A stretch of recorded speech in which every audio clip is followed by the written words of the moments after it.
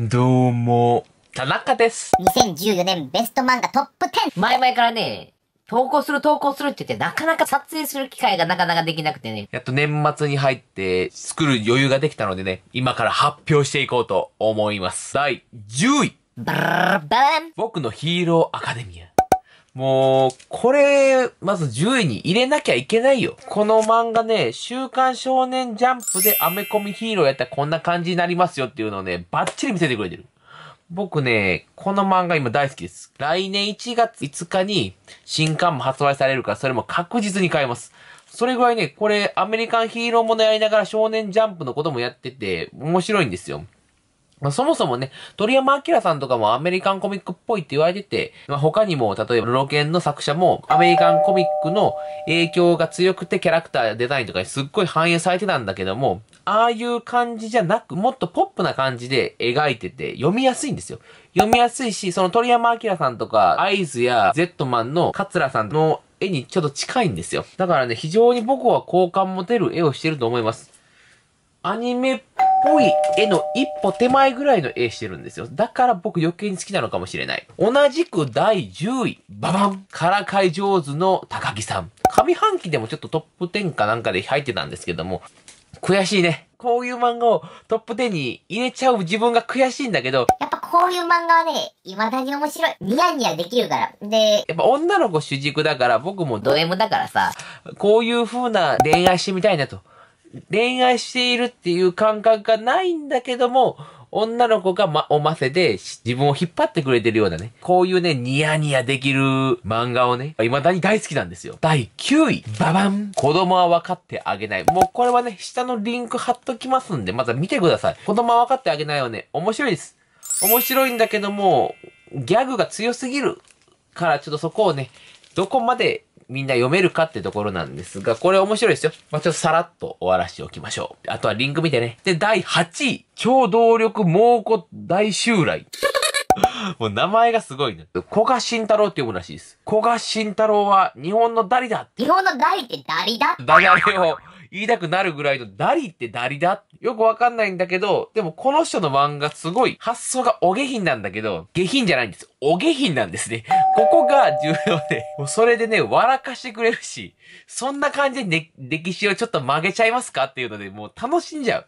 もう、この表紙見た時にね、面白さが少し伝わったらいいなと、この顔から出てくるこの、モンゴル兵とかね、ここの可変とかもう見てもらったら、なんかそういうの伝わっても、伝わるんだったらいいなと思っております。かなり面白かったです。ただ一般の人もそこまで面白いのかなって考えたときに、進撃の巨人が受け入れられたから多分これも大丈夫と思っておすすめしております。はい。第7位。ダララダダダン。えー、デッドデッドデモンズデデデデデストラクション。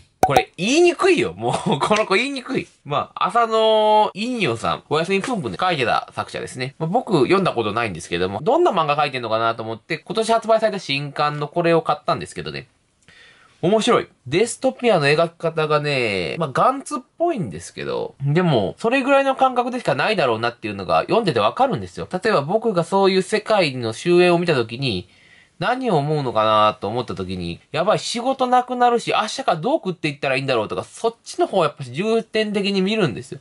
世界がもう終わっちゃう、どうしたらいいの？助けてって思う前に、こんな仕事で食っていけねえから、どんな仕事しようかなって考えるんですね。それと同じように、この子たちは、暇すぎるから、侵略軍頑張ってもっと世界を滅ぼせよって思っちゃうんです。で、そこら辺がもう、日常なんですね。2巻でもっと宇宙人とかが出てくるのかわかんないんだけども、その日常に潜むデストピア願望みたいなのがね、描かれてて、面白いんですよ。非現実的だったはずのことが現実に起こっても、それは自分たちの中では現実が非現実的ぐらいの感覚でしか見ることができない。これを読むと、ああ、僕も多分そうなっちゃうだろうなと感じます。第6位。ババン犬屋敷。もう面白かった。うん。面白かったっていうのは、何度か言ってるんですけども、この犬屋敷っていうのは、日本のスーパーヒーローはおじいちゃんであると。高齢者であるっていうところがね、もうすごい僕はツボで、スーパーマンだし、ウルトラマンだしっていうのがこの犬屋敷なんですよ。日本人日本人してるんだけども、そのヒーロー的なね、ウルトラマン的な部分があって、もう、なんてうまい着地点を見つけたんだと。面白いと、声を大にして言っておきましょう。みんなにおすすめできるのかっつったら、一応おすすめできる作品だと思います。やっぱり面白い。こういう形でスーパーマン描いちゃうんですね。日本人ならではだと思います。第5位。バババン。ヤコとポコ。もうこれ1巻しかまだ発売してないんですけど、やっぱ面白いです。あの、上半期だったら2位か、それぐらい、2位か3位かぐらいに入れてたんですけども、やっぱ未だに面白いです。センチメンタルな気持ちにさせる演出だとかね、その小回りで見せる優しさの中にある寂しさだとか、技術的なうまさ。もうまずそれ見てほしいし、やっぱこのキャラクターデザイン可愛いんですよ。人間とロボット。猫型のロボットと主人公と。み、ずっと見てられる。で、見てられるんだけども、ドラえもんとのび太くんほど、ほのぼのとせずに、その、ほんわかと描かれながら二人の間に溝があるんですよ。その溝を感じないように、毎日過ごしてる。で、それを感じないように過ごすために、ちょっとドライな気持ちでいるはずなのに、そのドライな気持ちになりきれない。寂しさみたいなのがね、ちょっと見えるんですよ。そこがね、たまらない。そこをドライに受け止めてるはずがドライに受け止めきれてない主人公が見えてくるから面白い。そこがセンチメンタルな気持ちにさせてくれるんですね。この絵柄のポップさもあってね、そのセンチメンタルさがね、すごい伝わってくるんです。それは演出でもあるし、コマ割りでも見えてくるんですね。正面の表紙と、まあ、この裏表紙ですね。この紙を書きながら、この帽子を渡そうとしている、この仕草を見るだけでもちょっとね、胸がね、クッと締め付けられる気持ちになります。